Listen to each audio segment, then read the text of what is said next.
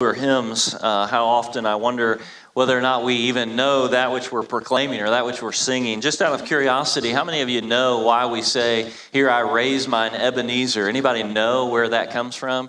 It happens to come from 1 Samuel chapter 7, where uh, Israel suffered its greatest defeat, uh, perhaps in its nation's history, and then they had their greatest victory and upon that victory, they raised a stone up uh, that they called Ebenezer to say, The Lord is my help. And so when we sing that line, Here I raise mine Ebenezer, we are singing about the victory that we have in Christ, and specifically that we are setting up a memorial, as it were, to to shout, to proclaim, to sing the praise of how we need God's help each and every day. So you can stick that one in your hip pocket. Uh, it's free, and you can trip somebody up the next time you play Bible trivia at home. Romans chapter 12, verses 1 down to verse number 2.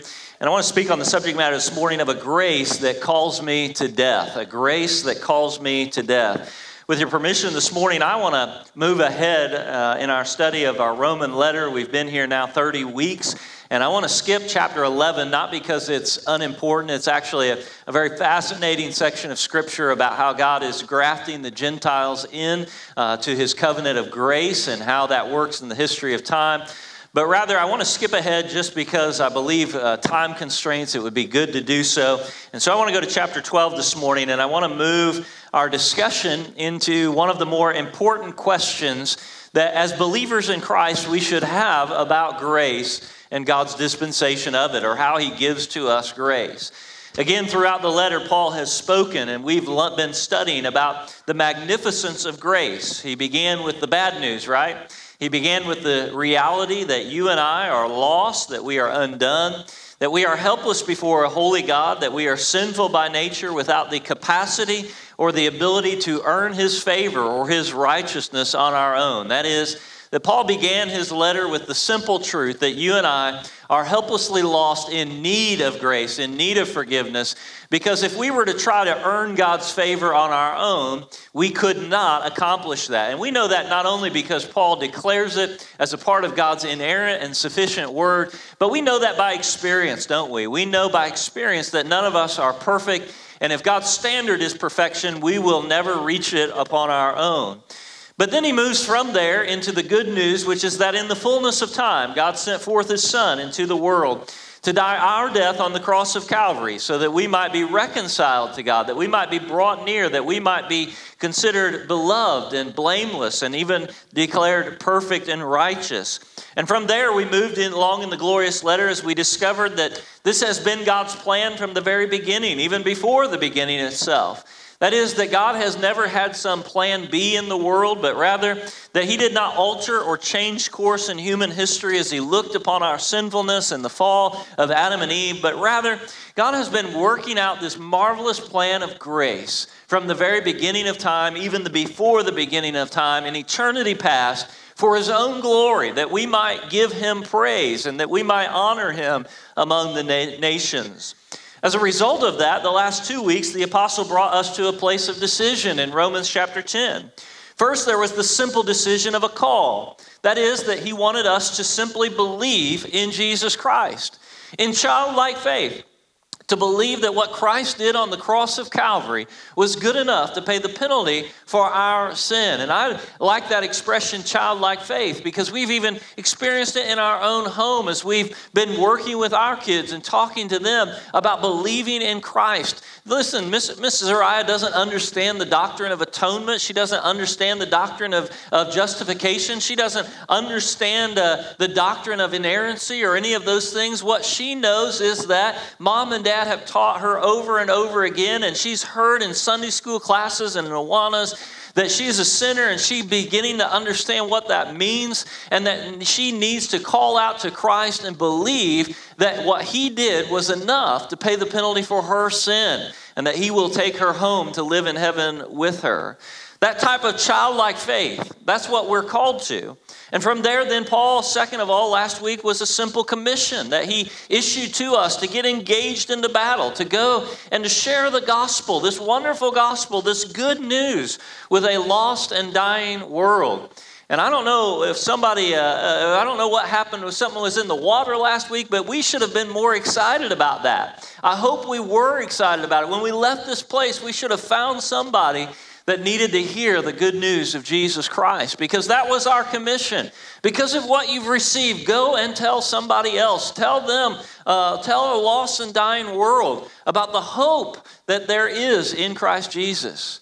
Now, if you're like me this morning, I love good literature, and maybe you like to read as well. And one of the things I find fascinating about literature is that good literature has the ability has the ability within the writer to, to bring his story along to some culminating moment, some moment of impact, as it were, to bring the pages together to a place of conclusion. And in so many ways, that's where we're coming to in the Roman letter. You see, Paul has laid out his story in Romans, which is a theological treatise on the magnificence of grace. But now, as we come to Romans chapter 12 and the chapters that proceed from there, we're coming to that culmination, that moment of impact, as it were, to the conclusion. And as he does so, what he's going to do is he's going to begin to take up questions, I think, that have plagued Christians, and this is why I wanted to move there this morning, that have plagued us for centuries and are very personal to us. Over the last several years, I found many believers with a burden. I found many believers that have a burden on their heart to say, What's next? What am I supposed to do because of what Christ has done? They've trusted in Christ, and the grace they've received has oftentimes led so many believers to instinctively ask the question, What can I do because of this? What, what must I do because of this? What may I do for God in return for all that He has done for us? And the question is always, What? What do I do? We ask questions like, What is God's purpose in my life? What am I supposed to be doing this morning? And I think oftentimes when we ask those questions, we tend to think on a very grand scale, don't we? We miss the simple things of life and we ask questions like, What does God want me to do? And we imagine going to the far ends of the earth, or we imagine doing these big constructs, or whatever it is, we think in the grandest of scales. I've also seen in 20 years of pastoral ministry the opposite end of that spectrum as well. And even I would say that there's a disturbing trend that is emerging more recently. And I want to be very, very careful with my words this morning at this point. I want to, it's not my attempt in any way this morning to be offensive because I know that I'm preaching to the choir. If you're here this morning, it is because you are faithfully committed to Christ, so to speak. And so I don't want you to misunderstand but in order that you'll understand where I'm going with this, I want to give you some things that, to think a little bit about. At the height of the moral, rise of the moral majority in American society in the mid 80s, if statistics are to believe, there were more than 70% of Americans that professed to be Christians. During that season, countless studies were published by folks like the Pew Research Group, and within our own denomination of Southern Baptists, we have an, uh, a publishing arm known as Lifeway. It's interesting that they both agree that somewhere around the early 90s is when we hit the height of American citizens participating in Christian worship. In fact, Lifeway did a number of research studies in the 90s and collected data, especially from what we know as the annual church profile. And for the sake of time, I'm going to combine that data with other research and just share a bunch of statistics with you for a few moments this morning, just so that uh, you can understand where I'm going with this. In the early 90s, about 65% of Americans said that they attended church regularly. No matter which study you look at, the, the number ranged from 64 to 67%. So we're going to go with about 65%. What's interesting is that in all of those studies, they defined regular church attendance as three to four Sundays every month.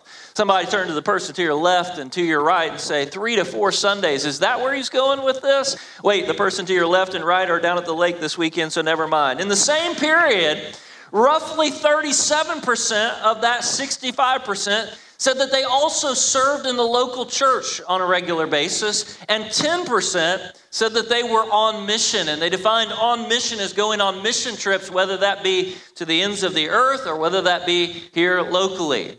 Let me bring that, those numbers in a little more specifically. Lifeway, the entity charged with such task uh, of distributing the annual church profile by Southern Baptist Convention, said their research suggested during that time that within its churches, roughly 41% of its members were involved in service, and roughly 19% were involved in mission endeavors, whether that again be here locally or to the ends of the earth. Now, that is the early 90s.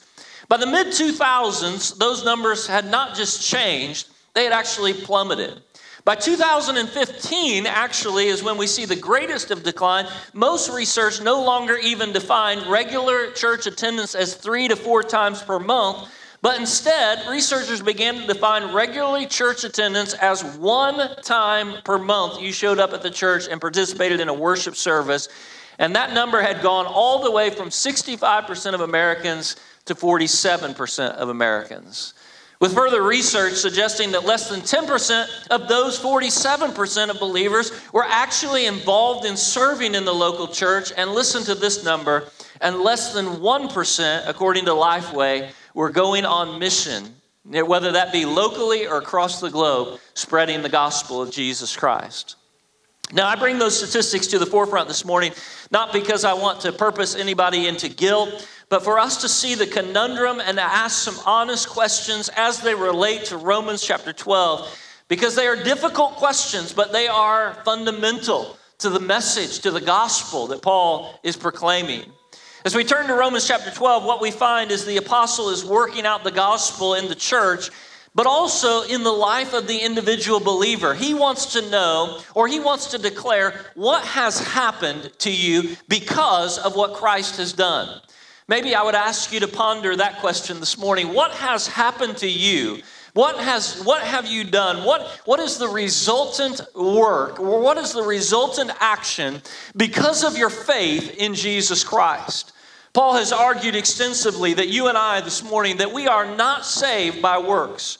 That is, that there is nothing that you and I could ever do, no amount of good works, that would ever earn God's favor towards us.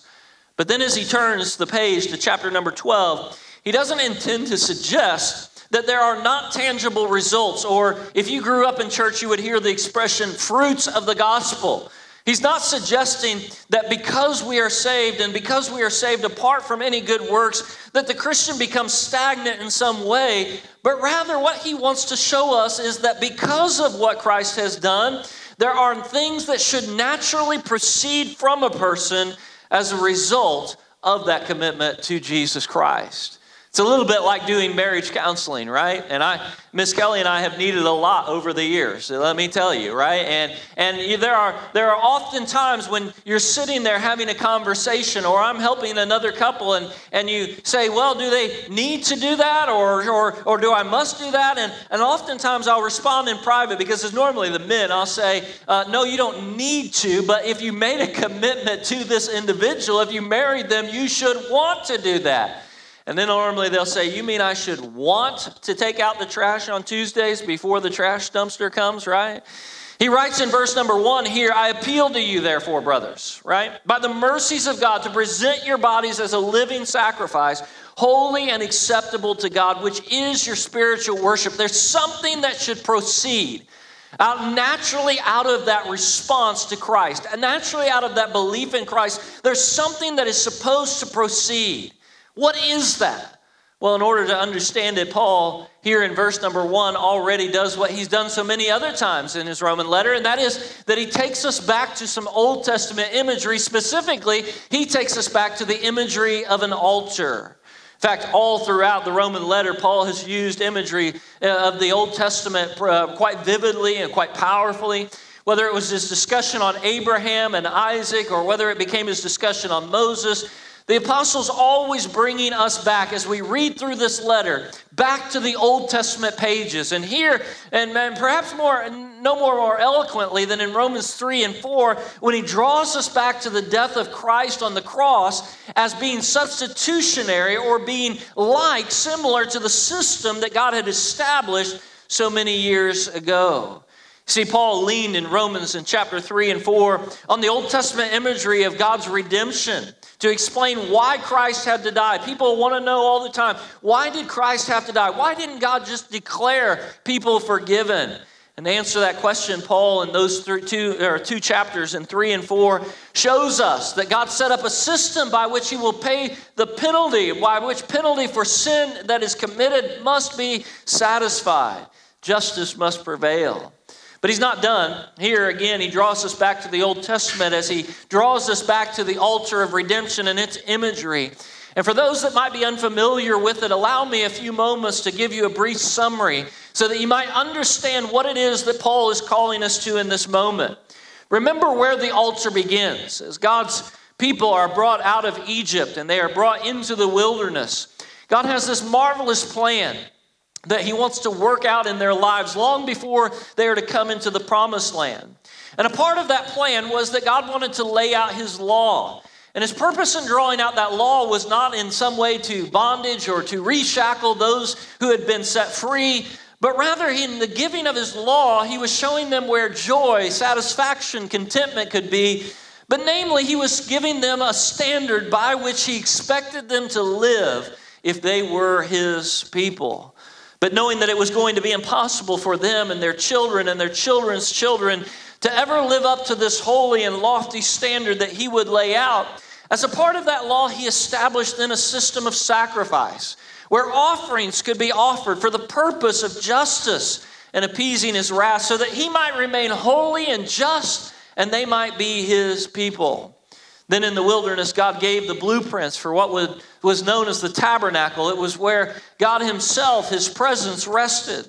The high priest would come in and they would offer sacrifice on behalf of the people in the most sacred of spaces, known as the Holy of Holies. And then as we move forward into history very rather rapidly, if I might say so this morning, we come to the great King David who decide, determines, decides that he wants to build a temple for the Lord. He's determined that the canvas tent is no longer sufficient for the Almighty. And of course, God would not allow David to build it, but he allows Solomon to build it uh, there after David. And that's why it was known as Solomon's temple. The first temple would eventually be destroyed in the years to come and then rebuilt according to the design of the original tabernacle, or so they would say. But the history of all of that is only just one small piece of the story. What's important for our text in Romans 12 is the business that is being conducted that Paul wants to draw our attention back to in his imagery. Why was all of this happening? What was going on? Well, beloved, regularly within the tabernacle and then within the temple confines, when it was built, animals would be sacrificed for sin, and you knew that already. Each animal had to be carefully selected, inspected for any imperfection or blemish. This indeed is what Jesus drive, why Jesus ends up driving the money changers out of the out of the temple before his crucifixion because the priest had set up this elaborate scheme where you would bring an offering, a sacrifice to, to give that was without spot or blemish. And they would uh, look at it and they would say, No, no, no, this one's got a spot or blemish. But it just so happens we have a perfect sacrifice over here that you can purchase from us. And then they would charge the people these absorbing amounts so that they were making his, his, his temple, as Jesus says, into a den of thieves and robbers. But they had to, if, if in a perfect world, they would select their own sacrifice, their own offering that was perfect, that was without spot, blemish, and then they would bring it before the Lord. They'd give it to the priest who would sacrifice it, and then he would burn it upon the altar.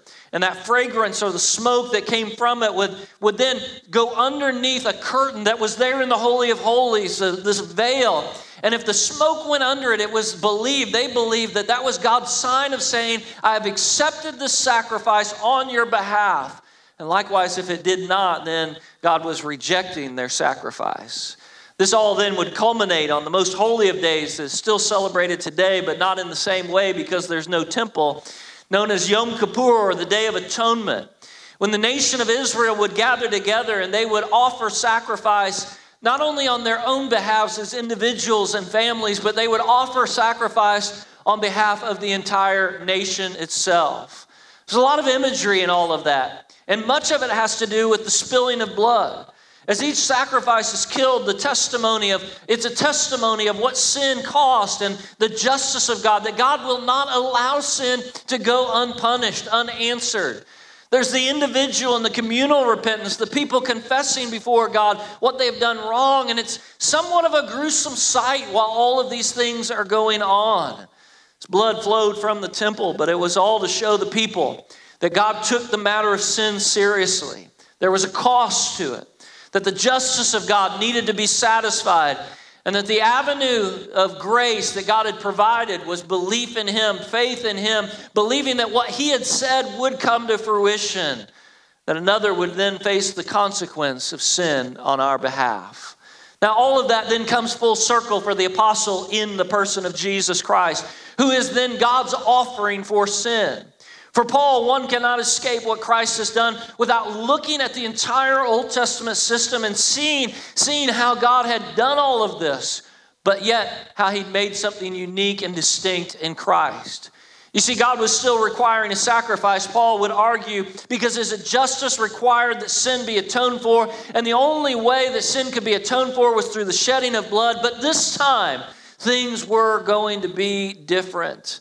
In the old way, the worshiper would bring his best sacrifice to God. He would go through his herd and try to find the, the one animal that was without spot or blemish. I can even imagine some of those folks, like little Isaiah. Last Christmas, I made a deal with him. I said, Hey, listen, if we sell a whole bunch of these toys that nobody plays with anymore, you can have all the money. We'll take 10%, give it to the church, and the 90% you can have, and we'll go on a shopping spree for Christmas. I don't even care what you buy. I just want to get rid of all this stuff, right? And so Isaiah thought that was a good deal, a great deal. And so he goes down and pulls out all of his toys, and he comes up with like seven out of an entire room packed full of stuff, right? He's got seven toys that we're able to get rid of, right? Sell on Facebook Marketplace. And of the seven toys, six of them were broken, right? Because that's how we view these things. But in their world, they've got to offer, they've got to go through their, their herd and find the very best because this is serious business. But for Paul, something has changed in Christ. You see, in Christ, it is not the worshiper who goes and fi- provides the spotless lamb for sacrifice. Instead, God decided that He would provide His own sacrifice on our behalf. And in fact, He was His own sacrifice in the sending of His Son, Jesus Christ. In both the Old Testament system and the New Testament in Christ, blood becomes a central theme. In the Old Testament, the blood signified the remission of sin, but it ultimately leads to the death of an animal.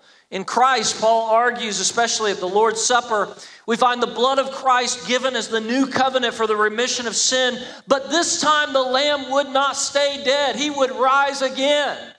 And so, whereas the old system had a spotless lamb the worshiper brought that would die, the new system, the lamb was provided by God the Father, and this lamb would not stay in the grave. And then there was the temple curtain, found in that holy of holy places. Paul doesn't dive deeply into this, but it's important for our discussion here this morning. Remember, I said it divided out the temple, it separated the most holy of priests. Uh, uh, from the others who was allowed to enter in, and the fragrance of the offering, the smoke had to go underneath that curtain to show God's favor. But in the sacrifice of Christ in Matthew's gospel, what we learn is that when Christ died, the veil was torn in two, showing us that both God had accepted the offering, both God had accepted the sacrifice, but also that no longer would there be barriers, but all were welcome to come in. God's presence was no longer offered to the most holy of priests, but now it was promised to all who believe in Christ. And that is why Peter would refer to us as a royal priesthood. Why are you not more excited about this this morning? The apostle had drawn upon this imagery in Romans 3 and 4 to show that Christ is sufficient, that he is the perfect sacrifice, so that you and I may be transported from one condition unto another. That we might be transported from that which God hated because of our sin to that which God loves because of the righteousness of Jesus Christ. Apostles drawn upon that imagery. But now there's a problem. You see, the system that Paul had proclaimed in his pro- preaching of the gospel, the, pro- the system that he had laid out, it has one noticeably absent person. Who is it? Well, it's the worshiper. That is, that in the system of grace that Paul has preached, the worshiper is not engaged at all.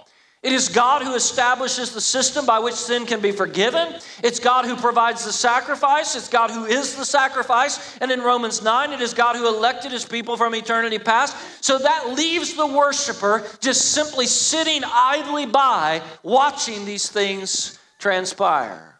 Or does it? For Paul, the answer is no.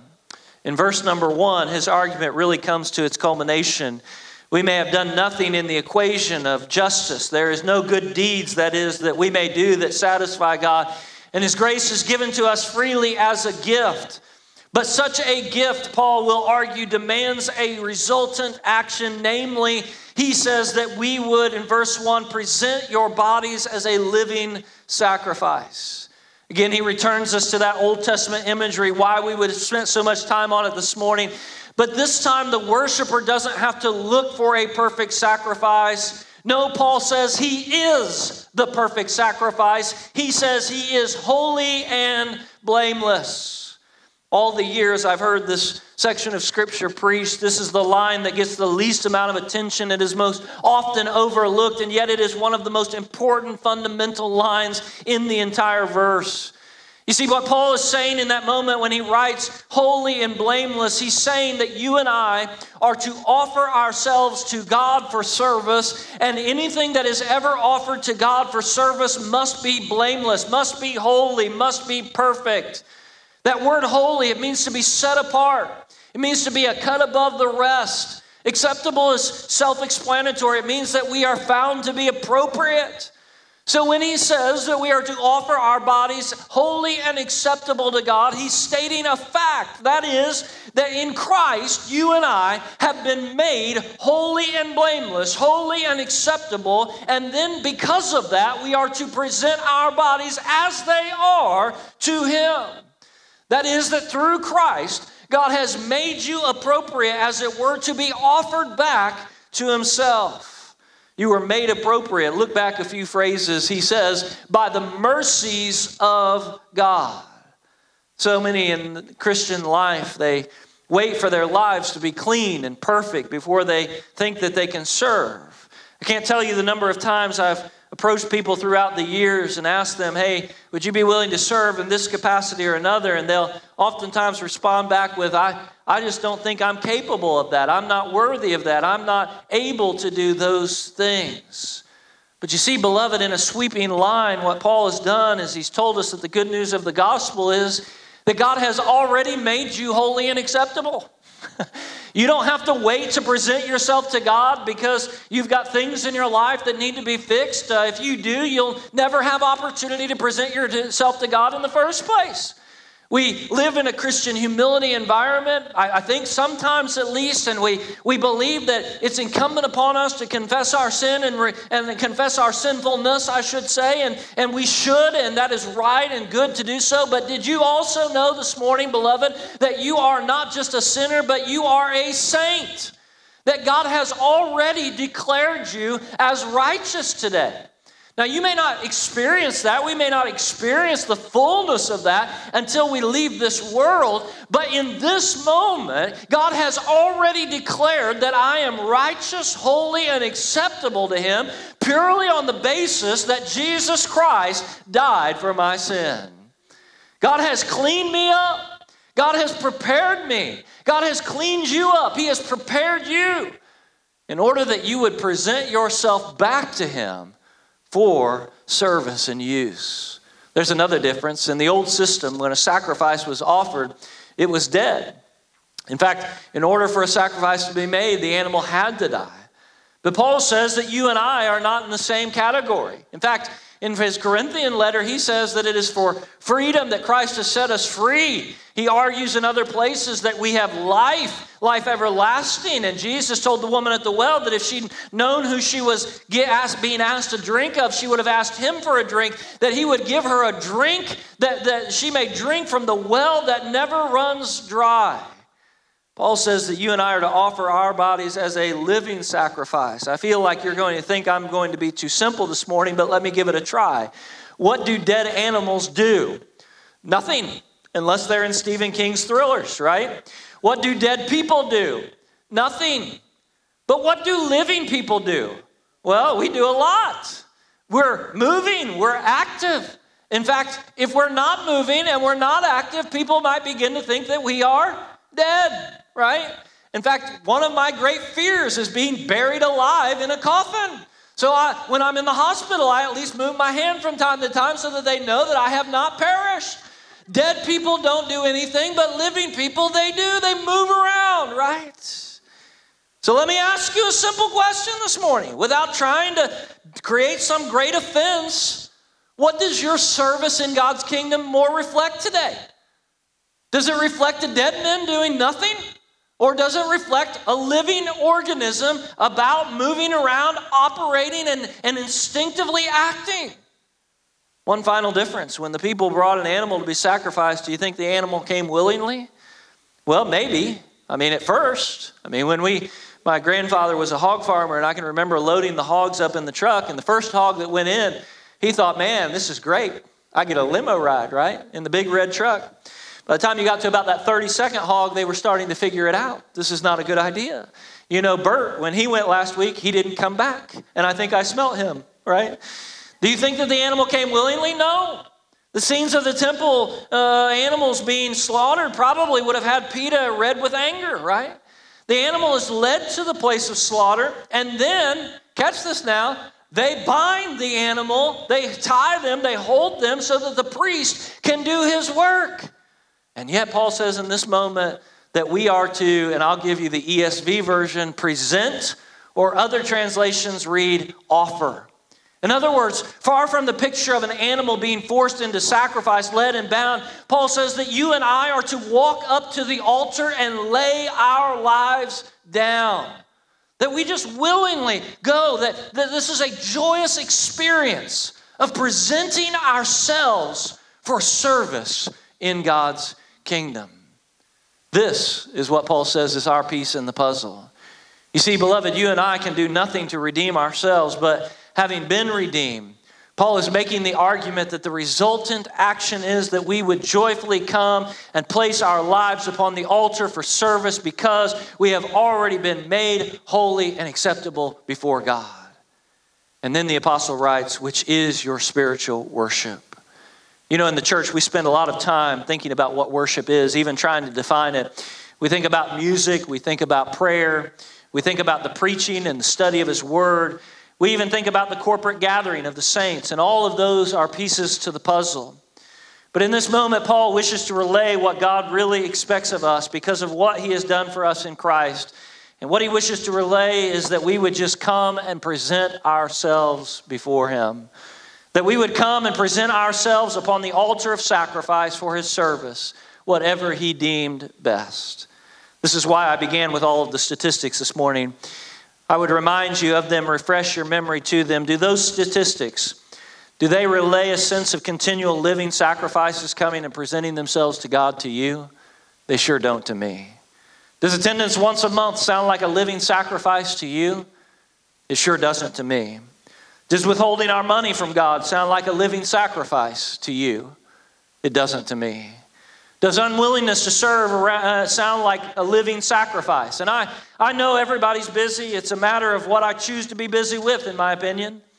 Am I busy running to the altar to present myself to God, or am I busy avoiding the altar because I have too many other things going on?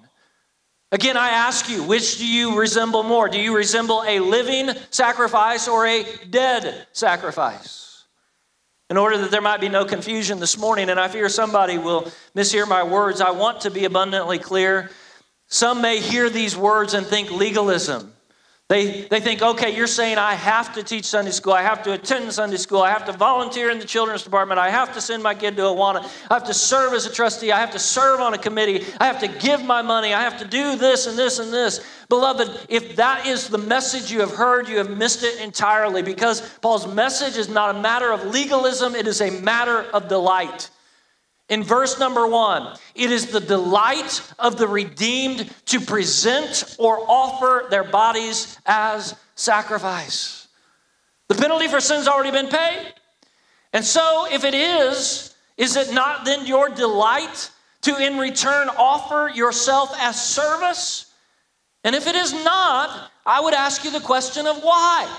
Why is it not a delight for you to serve God and His kingdom? And before you offer up the, well, I served once and I had a bad experience, I want to make two suggestions. First of all, what did you expect? If you're going to serve, you're going to have bad experiences because you and I serve with sinful people, and are you ready? We are sinful people. You see, if I'm in the room, you can be guaranteed there's going to be at least one colorfully sinful person in the room. Of course, sinful people do silly things from time to time. Of course, all of us do silly things from time to time. Of course, we'll have bad experiences. What do we expect? But, second, and maybe this is more poignant to the text, since when did being a sacrifice not involve death? Since when did be offering ourselves as a sacrifice not offer some form of pain, turmoil? The question is one of response. Is Christ's sacrifice, beloved, on your behalf worthy of you surrendering your own life in response? That's my question this morning. Is what Christ did enough? Is it worthy of you surrendering your life in response to Him? And if it's not, then I would ask you the question what is? What will you ever find that is? Further, what exactly is Christ asking of us today? What is the altar upon which we are supposed to lay our lives? What is the sacrifice that we are supposed to make? Verse 2 Do not be conformed to this world, but be transformed by the renewal of your mind, that by testing you may discern what is the will of God, what is good and acceptable. Boy, I wish I had a whole another hour uh, I mean, last week I got, let you out a minute early. That counts, right? I, I wish I had a whole other hour, but I, I don't. So let me just offer a couple comments. First, the sacrifice is intricately connected to the mind, Paul says. Our minds, he says, are not to be conformed to this world. In other words, we're not supposed to think like the rest of the world. We're not supposed to think like the world thinks. We have different priorities. We have different attitudes. We have different motivations. We have entirely different imaginations. But the problem with the mind is that the mind is always fixated on what it's set upon. So if you're constantly setting your mind on worldly things, then what will the mind be fixed upon? It'll be fixed upon worldly things. How do I set my mind on something? It's a phrase we use often, but what does that mean? Well, in practical terms, beloved, what it means is I watch more uh, Fox News than I read of my Bible. That would be setting my mind on worldly things. I spend more time on the things that are not eternal than the things that are eternal. I focus on the things that are out of my control rather than focusing on that which God has placed within the realm of my authority. So, to this end, we are told not to be conformed what does conforming mean? Conforming, I, I, in my mind, I went to that gooey paste that we give to children that they play with. Uh, it, it, replaced Play Doh because that stuff was too messy and it ruined your carpets, right? And this gooey paste that when you drop it in the, the container, it takes the shape of whatever container it's placed into. In other words, beloved, whatever you place your mind into, it will begin to take the shape of its container. If you place your mind in the things of the world, then it eventually will be conformed to that. But rather, Paul says we are not to be conformed, but rather we are to be transformed by the renewal of our mind. That word transform means something altogether different than conform, doesn't it? In other words, the, the word transform means that you're being made completely different. The mind goes from one thing unto another. And he says that this transformation takes place through the renewal of your mind. What does the word renewal mean?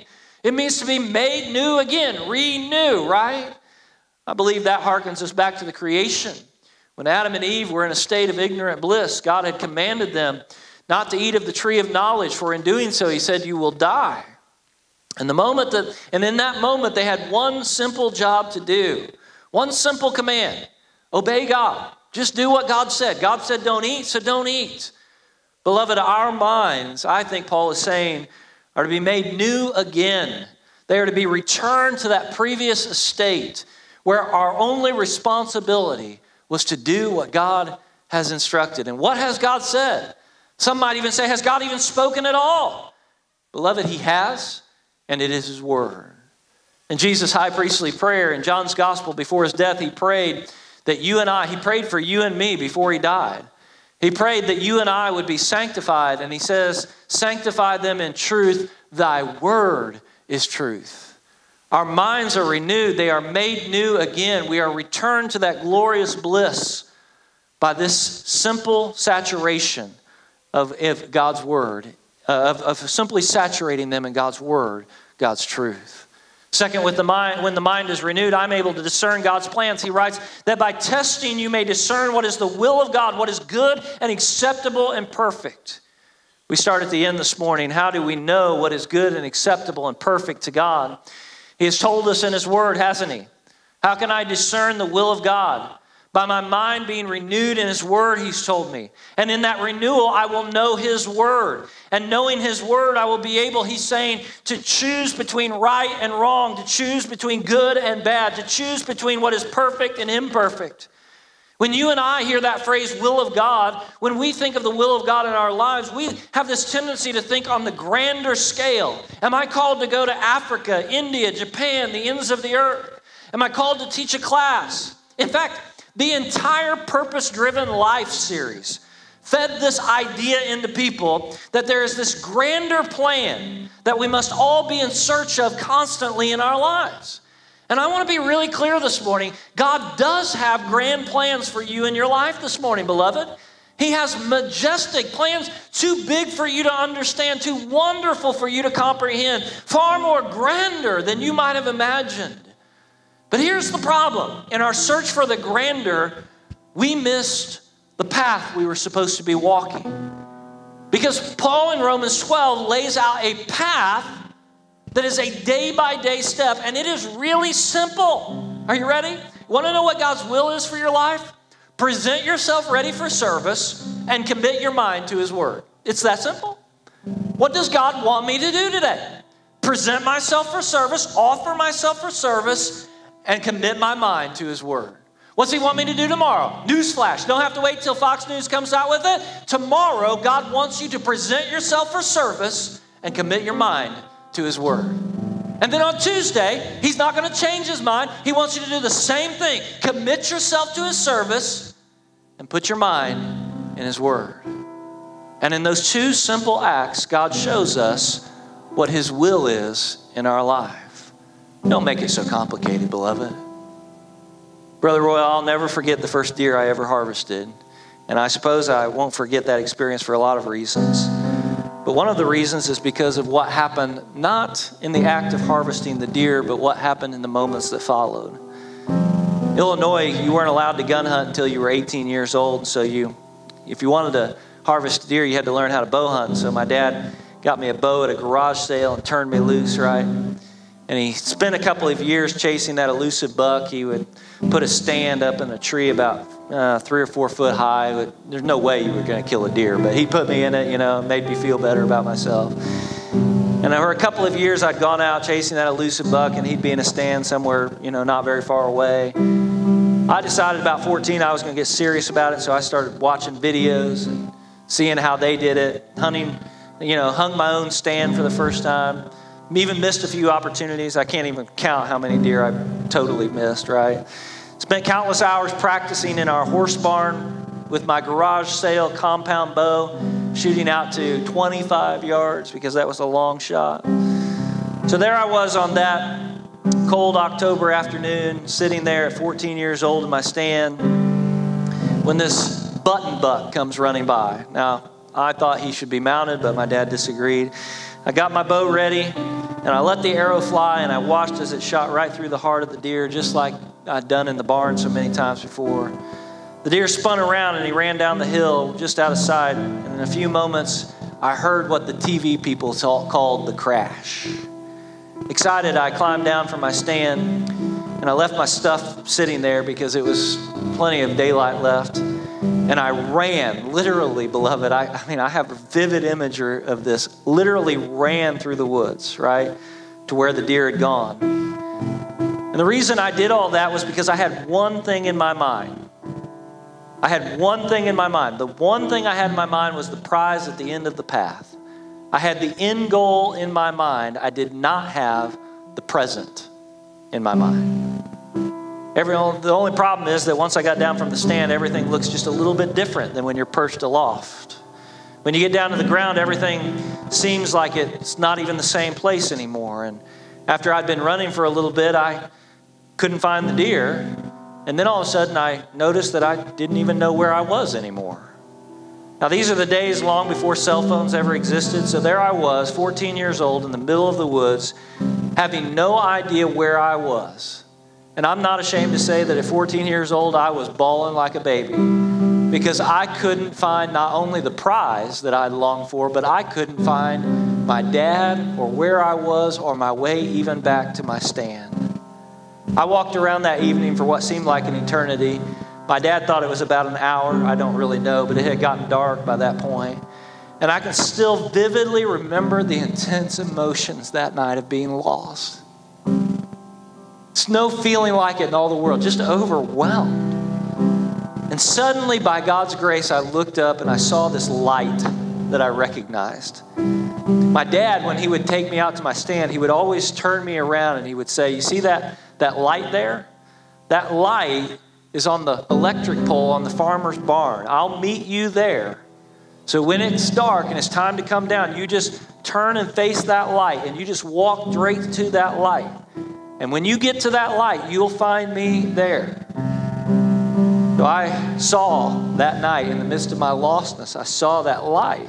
And I just started walking towards it. And then I picked up pace and I, I got there a little faster. And sure enough, minutes went by and I got there and I found my dad standing there underneath that light, frantic and in tears himself. Probably just trying to figure out how he was going to tell his tell my mom that she, she he lost her favorite son. But but he was frantic like me and he hugged me and he cried. And I told him, I said, Dad, I shot a deer and it's right down here, and this is what happened. And I'll never forget, he looked at me and he said, I know. I was just over the hill. I, I already saw your deer. And I came to get you, but you weren't there. And you left all your gear sitting there in the stand, including your flashlight. Son, you know the drill. We've talked about this. Always take your gear with you. Don't look for the prize at the end of the tunnel. Look for the blood and follow the path. Look for the blood and follow the path. I am convinced that many believers are walking around aimlessly lost, frustrated, and broken because they didn't take their gear, they didn't find the blood, and they didn't follow the path. It's really that simple. You want to know what God's will is for your life, it is not complicated. It is actually quite simple. First, trust in Christ, find the blood. Second, immerse your mind in the things of God. Corporate worship, spending time in His Word, gathering with the saints, eating dinner, lunch with the pastor, right? With other saints. Grab your gear. And third, follow the path. Present yourself ready for service. Offer your tithes, offer your availability, offer your life, offer every aspect of your existence and see if you don't find your way home. Stand with me reverently and let's pray. Father, thank you so much for the opportunity you give to us in this moment to open your word and to be renewed and to be reminded again of what your call is for us in our life. It's not nearly as complicated as we so often make it into. I don't have to think about what your purpose is for my life in grander scale. You've already mapped out those grand plans that you have for us. I don't have to sit and think about whether or not I'm supposed to go to the ends of the earth or whether I'm supposed to teach a Sunday school class or just be a greeter or volunteer in children's department or offer counseling to a broken person. What I have to worry about this morning is one simple thing Have I presented myself willingly, ready to die, as a living sacrifice before you? And the only way I can do that is if I'm committed to your word, to your truth, the rest of the time. Father, help us to be people who do your will this morning. Help us to be people who do your will. Simply, help us to be people who put our yes on the table in this moment and every moment we're moving forward and are committed to your truth. In Jesus' precious name, amen. As we sing a song of response, you respond as the Lord leads.